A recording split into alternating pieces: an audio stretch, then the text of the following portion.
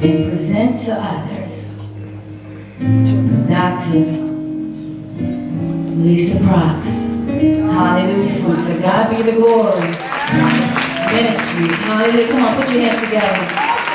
Hallelujah. You know God's giving us giving a word. Hallelujah. He's going to deliver that word on tonight. Is.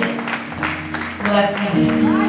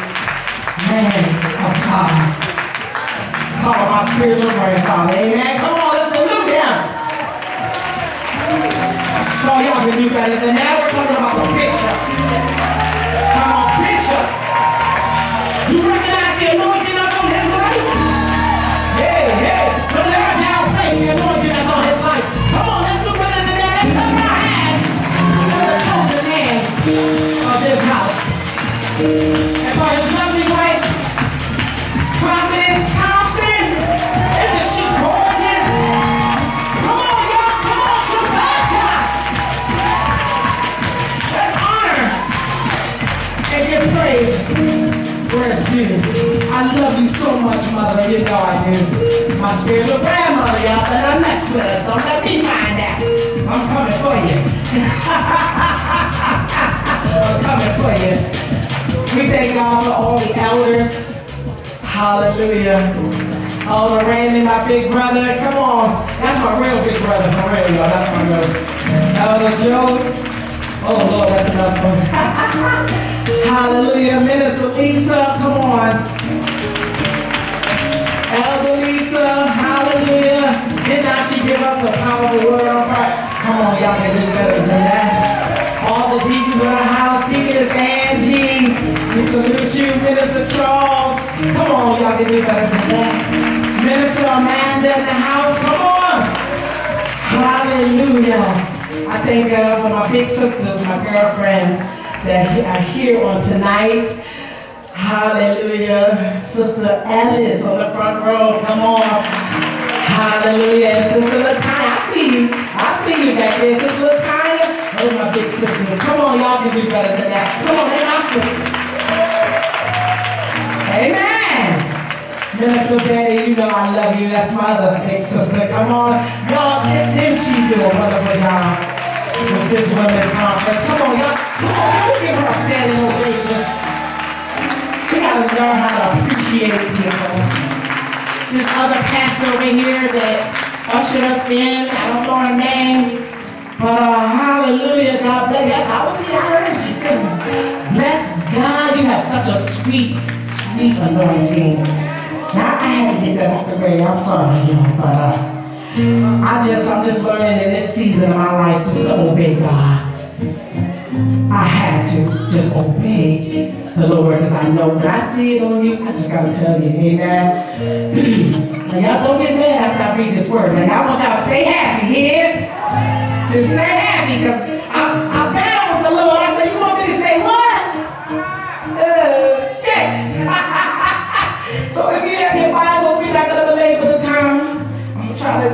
expeditiously as possible. We have a theme, but um, Minister Betty, if it's okay with you, we're just gonna tweak it just a little bit, amen. While we sensitive to the Holy Spirit. If I'm gonna have Elder Lisa read Ecclesiastes 3. I want you to go down. Seven to eight. As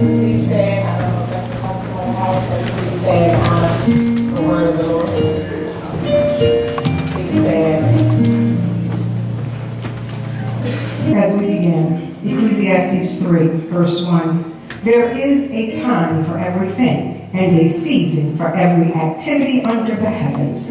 A time to be born and a time to die. A time to plant and a time to uproot. A time to kill and a time to heal. A time to tear down and a time to build. A time to weep and a time to laugh. A time to mourn and a time to dance. A time to scatter stones and a time to gather them. A time to embrace and a time to refrain from embracing. A time to search and a time to give up. a time to keep and a time to throw away, a time to tear and a time to mend, a time to be silent and a time to speak. Verse 8, a time to love and a time to hate, a time for war and a time for peace. This is the reading of the word. Amen. Before I move any further, I want to acknowledge my pastors in their absence. Amen. Hallelujah. My pastor, my covering, Pastor Roderick, and co-pastor Veronica Robinson. Hallelujah. They certainly love to be here tonight, but she's also uh, scheduled to preach um, today. So we have a few conflicts in schedule, but I'm here. And most importantly, Jesus, His Holy Spirit is here. Amen. They send their love. okay, so my topic today is what season are you in? What season are you in? Think there's a somewhat of an echo. This mic, we have much fixed tone. Subtopic, the Holy Ghost is coming for you. What season are you in? Subtopic, the Holy Ghost is coming for you. It's quite fitting for this message to come forth today because it's pretty similar to what we are experiencing in the natural. After all, it's been very challenging to really decipher what season we are in. According to the uh, Gregorian calendar, uh, we're in spring season, but the weather seems to be somewhat perplexing because it does not depict spring weather. One day the temperature is 70 degrees, the next day is 38 degrees. Another day you get all in one seasonal experience in one day. then within a few days the weather appears to normalize and it begins to feel like spring all over again. And notice how the flowers started blooming and the trees started to bud. But sadly, as the temperature started to rise, all of a sudden, snow mysteriously appeared. Y'all remember that? Giving us the impression that it was still winter. Mother Nature's mixed messages seem to be throwing us all for a loop. But not only is the seasons confusing us, the trees are confused. the flowers uh, and the birds are posting that they're in a complicated relationship. Uh, they're tweeting mystifying tweets. They don't know which way to go. Hallelujah. Everyone is confused about the season. Think about uh, the many warm days that we had during the winter season. Some trees, if you were paying attention, started budding and even blooming during the winter because the weather felt like spring. Understand that uh, the trees really rely on the weather to determine their season. See, see, the weather helps uh, trees maintain a set growth cycle. And therefore, the trees must rely on the temperature, the season, hallelujah, uh, to keep them on track. Uh, okay, so let me help you. Some trees need to rest in the cool temperatures before they can safely produce new growth in the spring. They, they need to they need time to rest, to go through a process in order to bloom properly. We're going somewhere. Uh, but when the season is delayed or interrupted uh, by unseasonal elements, the trees begin to produce before its time. Mm, they begin to respond to what appears to be springtime. And so they start sprouting leaves and flowers and fruit, no matter how short their season of rest was.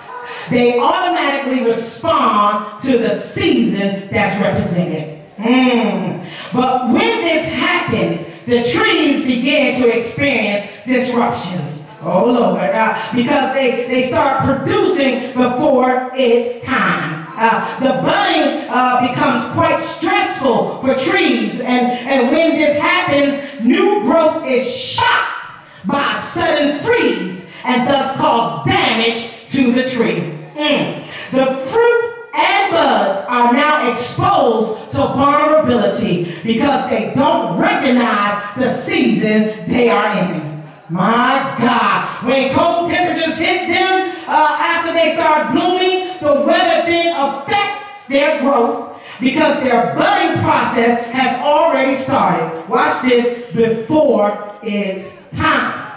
I want you to hear that. Uh, and once the season regulate to its normal seasonal weather, the trees suffer because they have already exerted their energy. My God, today, I need to ask you a question. What season are you in? Uh, see, Ecclesiastes symbolizes the season of life. Hallelujah. Like those trees, Solomon the writer makes it very clear. He makes a very clear uh, depiction of what life is like when you are not in the right season. Oh, Jesus. Hallelujah. So I want you to get your praise on first. huh? Hallelujah. He clearly gives us a clear picture of what a complicated season looked like when you start blooming before your time. In other words, when you start blooming without God. Mm, you exert your energy before time and then take years to begin producing good fruit again. Uh, notice I said again because some of you started out well uh, but was hindered along the way. Uh, you, you forgot about the good fruit of the Spirit. Uh, you know, love, uh, patience, long suffering, gentleness, intercessors because they already quiet. Temperaments, self-control, joy, peace. Read it for yourself. Galatians 5, 22 and 23. If you don't believe me. Huh? Okay? So let's go on a journey and step into the seasons of Solomon's life, starting with Proverbs. Uh, Solomon wrote the books of Proverbs, the, the book of, of the Song of Solomon and Ecle- uh, Ecclesiastes. Uh, but we find each book to be quite different from each other. In Proverbs, we see the wisdom of Solomon. Uh, he was a great, it was a great season. He was in his season. Hallelujah. He walked in obedience to God. Uh, he feared and revered the Lord. Uh,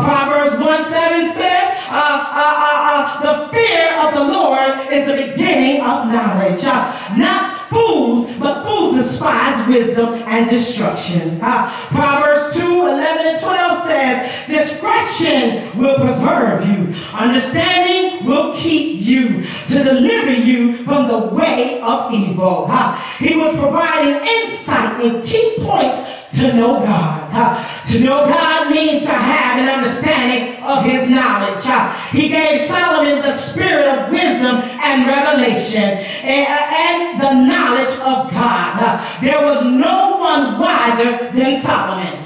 Solomon sought after God. He operated by God's principle and desired to know the characteristics of God. In chapter 14, come on, let's go on this journey. Chapter 14, 1, he tells us a wise woman builds her house, but the foolish pulls it down with her hands. Ah, he longed for God's presence. Ah, his actions were pleasing. After all, he tells us that there is a way that seems right to a man, but its end is the way of death. Ah, come on, walk with me. In chapter 16, verse 3 says, Commit your works to the Lord. Uh, uh, your, uh, and your thoughts will be established. Uh, Solomon walked so close to God until he discovered him to be supreme in authority. He's discovered God to be timeless in his existence, ingenious in his creativity, awesome in his holiness, blazing in his glory, and in his beauty. Solomon found God to be majestic in his splendor and unending in his mercy. Are you still on the journey with me? Okay, moving to chapter 18. We're going somewhere. at 21. Uh, Solomon then tells us death and life are in the power of the tongue. And those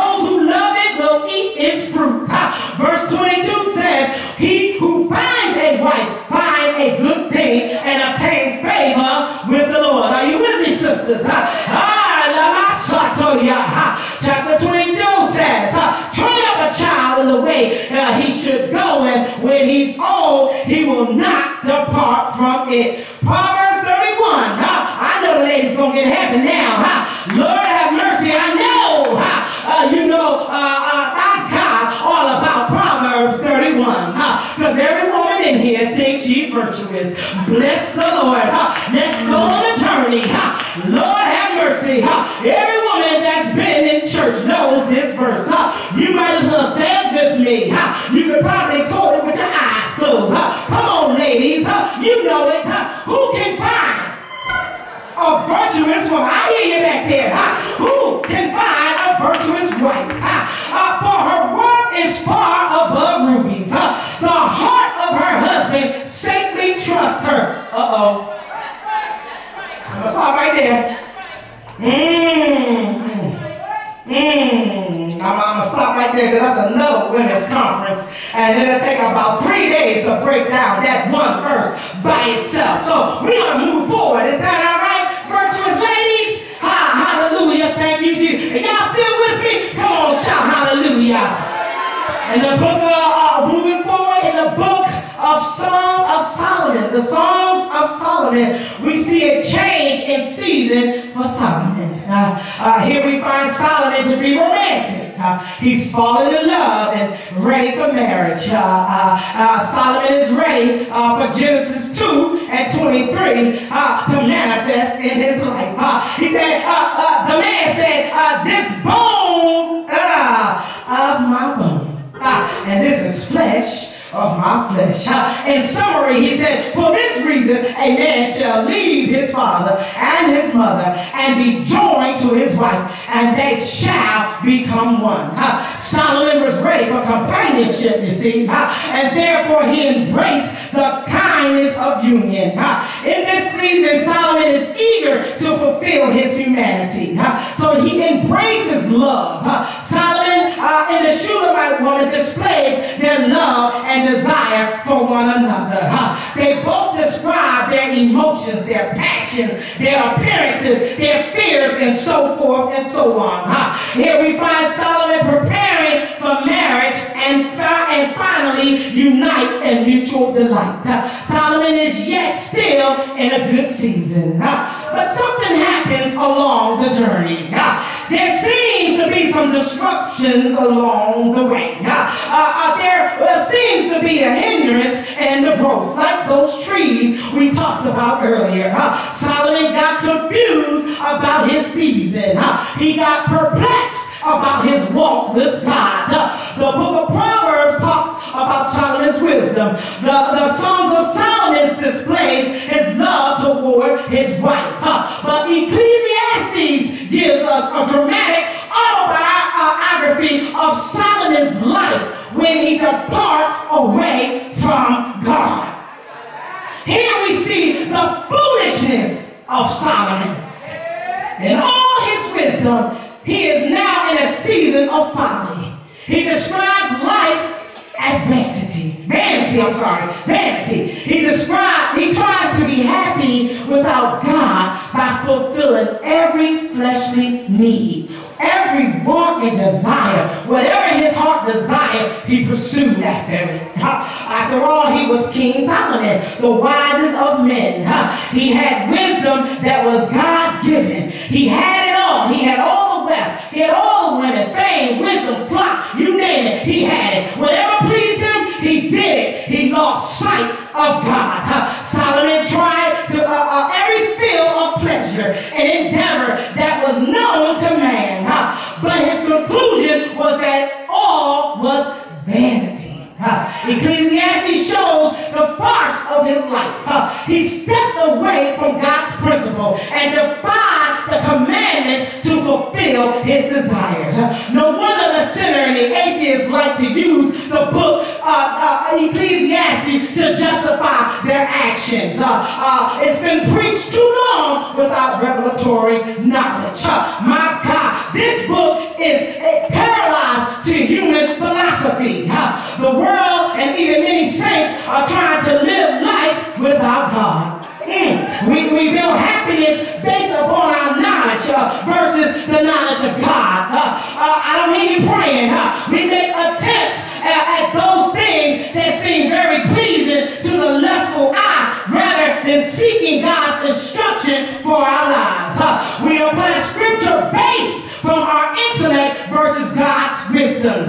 So here, uh, uh, we, uh, like the non-believer, make scriptures applicable to life based on the season of life we decide to live.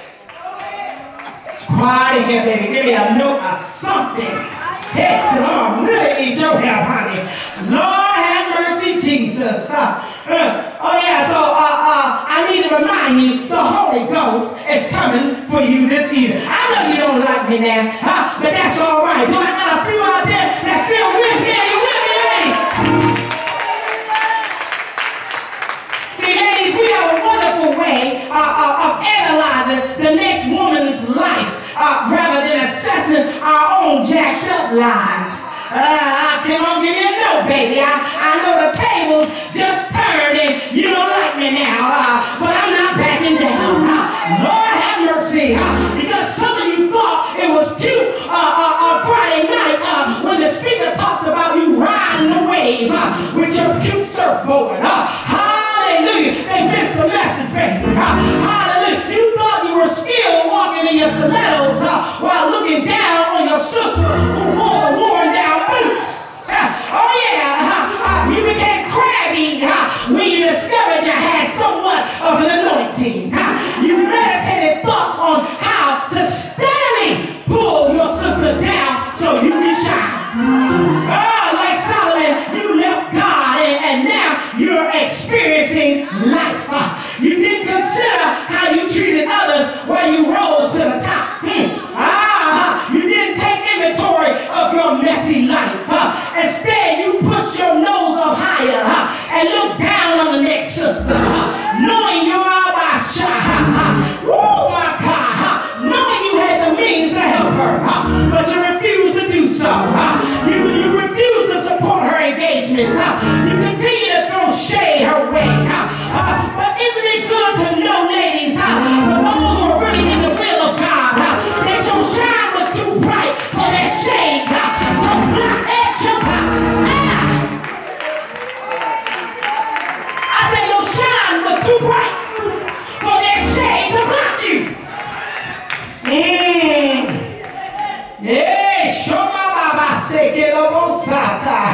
Mhm. Now the same life your sister next to you experienced years ago has become your life, your greatest nightmare. Huh, your turn, huh, your season, huh, and now you're looking for handouts. Uh, uh, you are the victim, and everybody uh, is jealous of you. All the woes and the woes and the woes. Uh, anybody been there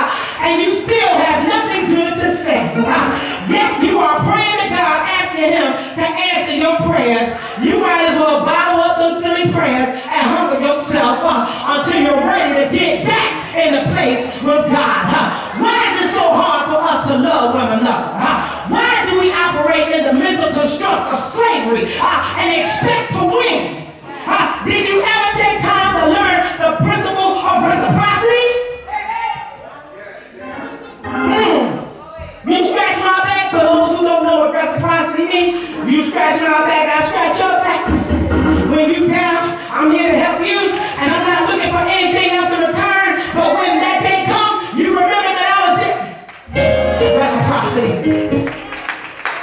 Mmm. Mmm. Ah, my God, today. Hmm.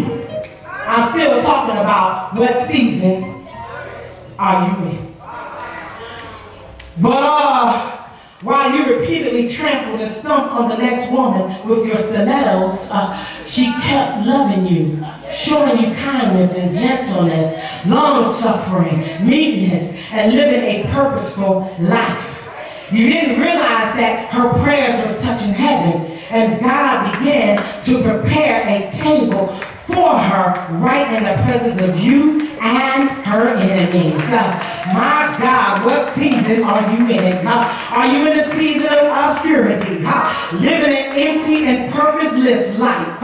Or are you in the place where you recognize God's immutable being? Are you in a season where you uh, have become fascinated with God's personality? Or are you so vain that you become obsessed with you and your selfies? Nobody want to look at your pictures no more. It's time to get on your knees. Are you in a season where you are intrigued by his mysteries and his unquestionable sovereignty? Or are you worshiping the thought of being discovered by man? Uh, it's a question for you ladies. See, uh, it, it would be easy for me to preach uh, a feel-good message by telling you uh, the wait is over, girlfriend. Uh, walk into your season. Uh, it would be lovely for me uh, to go with the cliche uh, and tell you that this is your season for grace and favor. Uh, oh yeah, girl. Uh, stride and glide in your stilettos. Uh, it would be uh, so delightful uh, for me to tell you uh, that it is a new season. Uh, uh, it is a new day. Uh, a fresh anointing is coming your way. Uh, oh yes, uh, that would but then what would make me any different than Solomon in this season? Oh my God, if I almost uh, give you a good message, send you home to return back to your vomit. No woman of God, I came on assignment by God to give you revelation, the true meaning of, the, of Solomon's decree.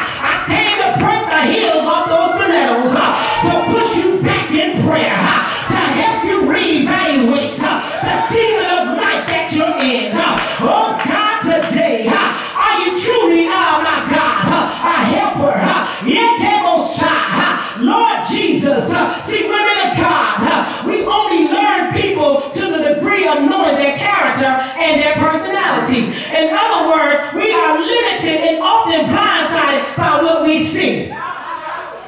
We do not take time to observe true actions. Uh, we see a nice person, and some of us are prone to build a relationship based on surface perceptions thus causing much pain and hurt later in your life. I'm talking about being processed too soon by the wrong person. Mm-hmm. See, you, you, you, you're just looking at their status, uh, but you can't discern the intent of their heart, uh, uh, which is desperately wicked towards you.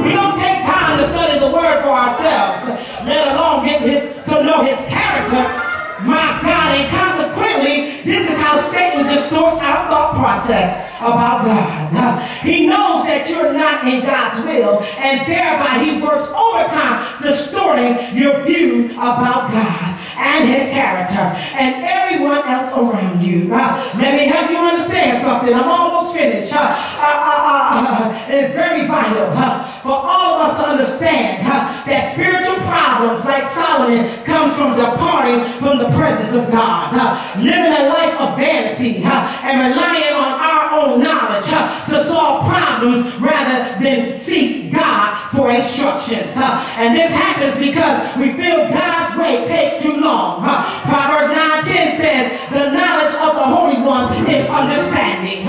Ladies, God is unimpressed with us gaining earthly knowledge and possessions. Don't misjudge what I'm saying because He does.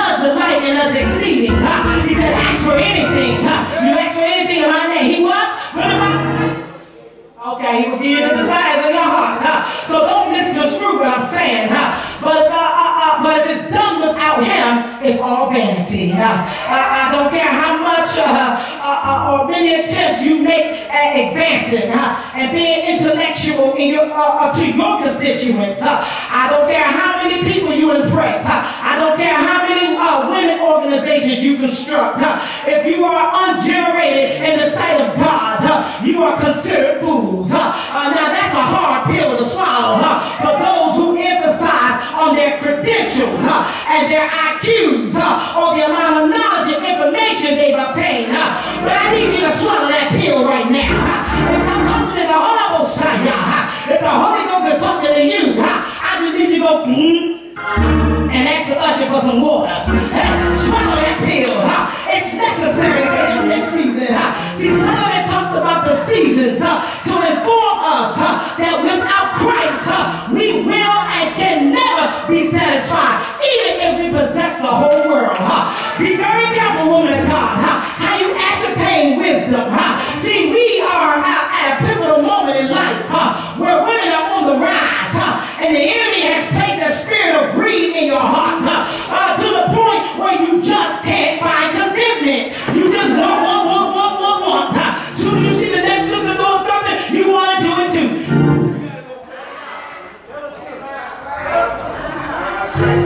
No matter how, oh my God, no matter how much efforts your husband make to please you, you're still not satisfied. huh? Uh, and, and, and, uh, and as a matter of fact, uh, now uh, that some of you are making more money uh, in your role, uh, you're twisted. The home upside down. Because God blessed you. He favored you. He gave you honor. But you flipped the role. And now you want to wear the pants.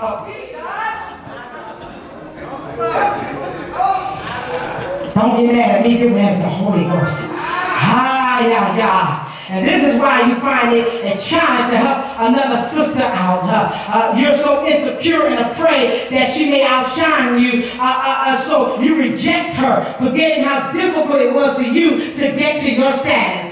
Before we can walk in our seasons, lady, we have to understand the revelation of this book. Ecclesiastes is a guide for us to examine our own heart. Uh, Hallelujah. What season are you in? Let me help you understand your season. You're in a season of new growth.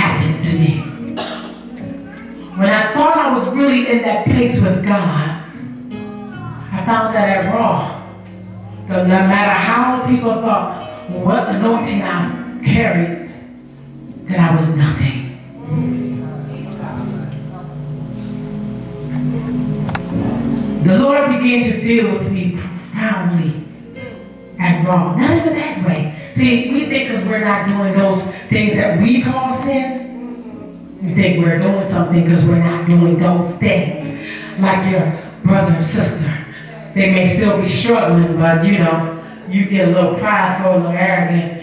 And that's not my story, because I already know I give so much, I give so much. Anything I got, I give it. If there's a need, I work hard to make sure that the need is met. Amen. Can I get a witness? Come on, clap your hands. But this encounter wasn't a bad encounter, it was a good encounter. The Lord began to talk to me about the last 18 years of my life and women of God who spoke witchcraft over my life. Y'all, y'all, not ready for this. Y'all not ready for this. Not ready for this. And began to deal with me about all the struggles, mother, that I had encountered. Things that absolutely made no sense in my life. Every time a door opened for me, it shut. Every time it appeared that I was rising or walking in my healing, something else came. Greater than what I was already dealing with. Come on, baby, work with me. Give me something. I don't really want you to take me down, but I need something. Come on. Y'all know my flow. Y'all know my flow. um, the last service of Raw, there, there, was a situation that happened. I'm going to be transparent. I don't usually like to do this, but I'm going to obey God. There was a situation that occurred where the Holy Spirit told me to sit in a certain seat. And I did. But then someone came to sit next to me that had a problem. And I wanted to move my seat. Y'all don't want to be real. With your anointed self. I didn't know that was my. But because I was looking at the issues and I didn't want to be bothered, I moved my seat. I heard the Holy Ghost prophet say, I didn't tell you to move your seat, go back. I didn't go back because I didn't want to be bothered. Somebody catching that? You know what I talked about earlier? Looking down on your sister? So, as the service began to move, I'm going to get out your way. The Holy Ghost began to move through Mother Stats. Everybody know how much I love Mother Stats. It's just me out there. I mean, these are, this is all I know, so I grew up on her. She began to go down the road and anointing people and giving them shots and the Holy Ghost and giving them blessings.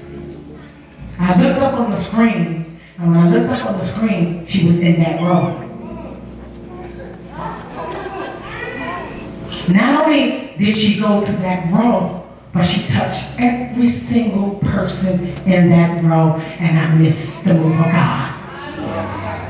Okay, y'all hear me? I miss God. And he said, so I'm sitting there now in myself. That's okay. You know, y'all know how we do. Well, that's okay. You know, I'm, I'm am. That's what we are. We're comfortable in church. We're comfortable. We're just coming in form and fashion. Get comfortable doing what we're used to doing. But God was trying to do something different that night. He said, I don't care how anointed you may think you are. He said, I told you to sit there. And now I'm making situation because this entire conference you will not get what you came for. Okay, y'all agree? So I, I still was trying to hold myself, but really I was broken. I was so messed up because I missed God. Okay? I miss God. So uh, the moral of the story is this. Uh, uh, as the service moved on, it got higher and higher. And I'm watching everybody praise God. And I'm feeling empty like Solomon. I'm empty because I miss God for one judge, one wrong judgment. Too long have we come to church with the wrong conception about people.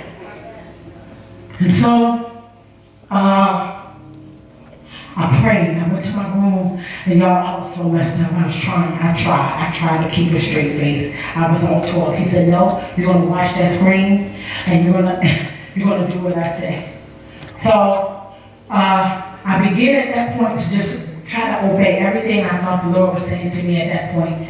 He said, I set her there because the anointing on your life would have just soothed those spirits that were in her. But moved.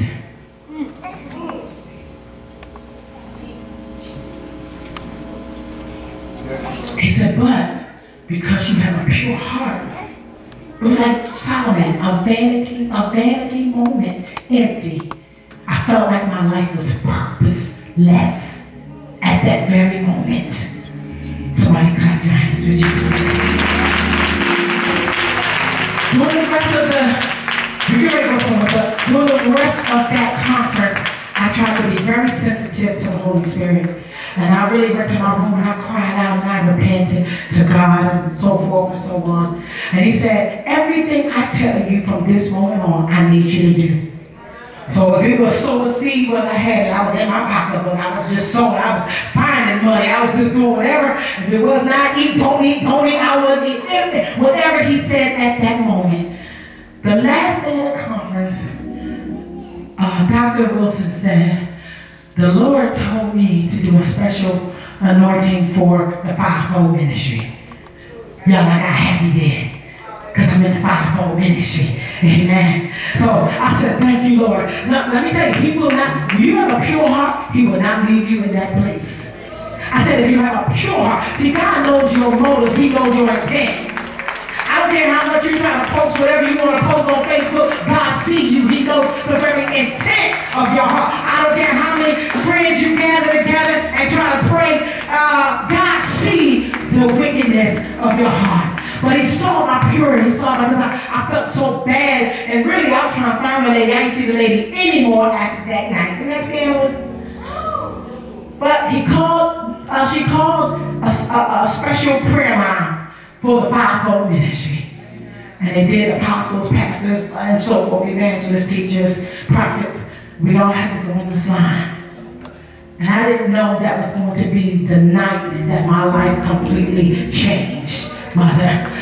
We had to go through a line of about six anointed, dynamic women and men of God. And I'm telling y'all, if you ever experienced one of them shots, I'm telling you, you won't leave this world for me. You know, what in the world just happened to me? I had to go through six people. Each one of them lay hands.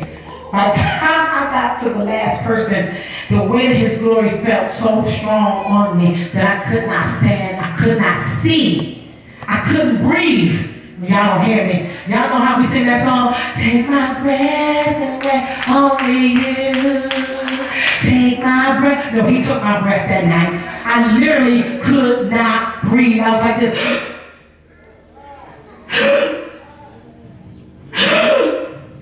Literally, this is a true testimony. I could not breathe. He said, That's how quick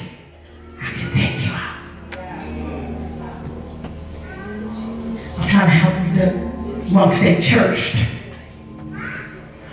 When I finally got up off the floor, every piece of jewelry that was on me literally was broken. My earrings were broke, my necklace was broke. I'm talking about some pretty stuff, y'all. I, I wanted to get upset, but I was just too scared because I couldn't breathe a few minutes ago.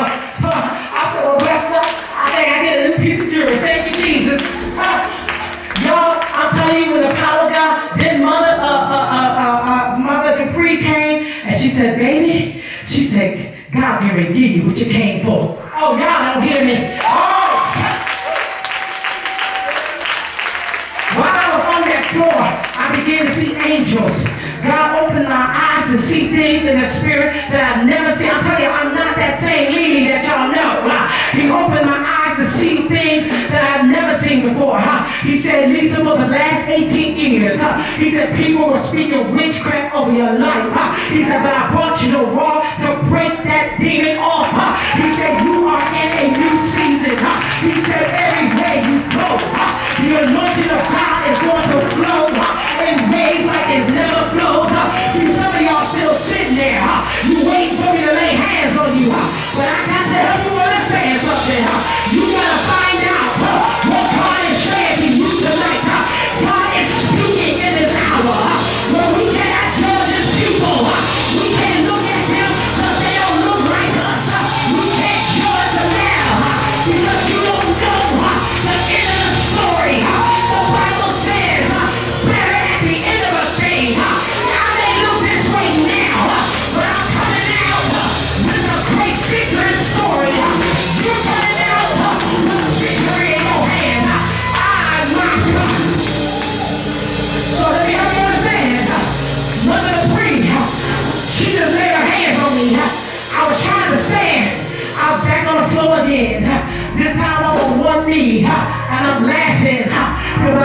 God, you're so good to me.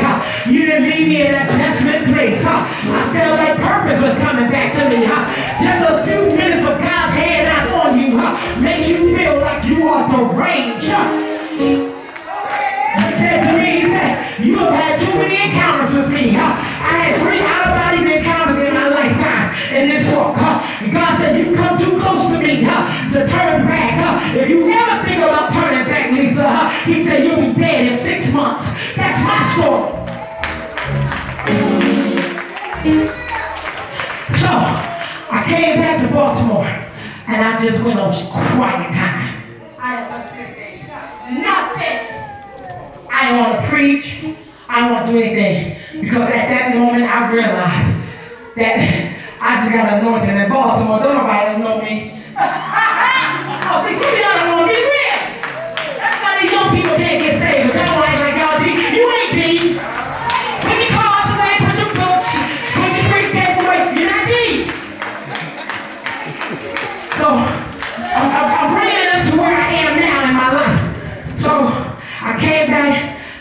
Spoke to me at the end of February. I mean, quickly, all of a sudden, I'm telling you, I'm very sensitive to him. He said, I want you to shut down and fast for 31 days. I need a chance to prepare. He said this February 28th. March 1st, I was on fast. Okay. I didn't get a chance to prepare. He said, March 1st, I want you to shut it down. Uh, we need to go that's more fasting. So y'all understand. For 31 days, I have not been able to eat the way I desire to eat. I obeyed God. Now I'm gonna show you the devil. The devil is mad because I got revelation. The devil is mad because God is good. Um, I recognize my season. I've been in a place with him where I understand the characteristics of God. So now here comes the devil like Job, trying to stricken my body. Y'all don't hear me. Yeah, okay, come on. Come on, sisters. That, that needs a flat. I really am not supposed to be on this microphone. Every time when you kept seeing me slow down, it's for a reason. Because I really can't breathe the way I desire to breathe. Oh, y'all don't hear me. I went to the doctors about two weeks ago, and my results came back, and not a good way. Because of the fasting, they said that my red uh, blood cell count is extremely low. extremely low. And so what that means is I can barely breathe. All, none of my, or, my organs are getting proper oxygen. It's not getting what it's uh, the supplements that it needs because of the fasting. But the devil is a lie. And so, okay, y'all don't hear me. Y'all don't hear me. Y'all don't hear me. He's trying to move me from my divine purpose. So, so, so, so, so, so now he's attacking my body. And I can't really breathe. And every time people see me, they say, you look tired. When the truth of the matter is, I am very lethargic because I don't have no energy because I'm extremely anemic, is what they're saying. Oh, Jesus, y'all don't hear me. I wasn't sure I was going to be able to preach this message, Minister Betty, but I said, God, I'm going in the name of the Lord. All week long, they've been calling my phone to get me to come in to do procedures. I said, I'll do the procedure after I preach the word of God. But I'm going to show the devil just who I am. I walk in a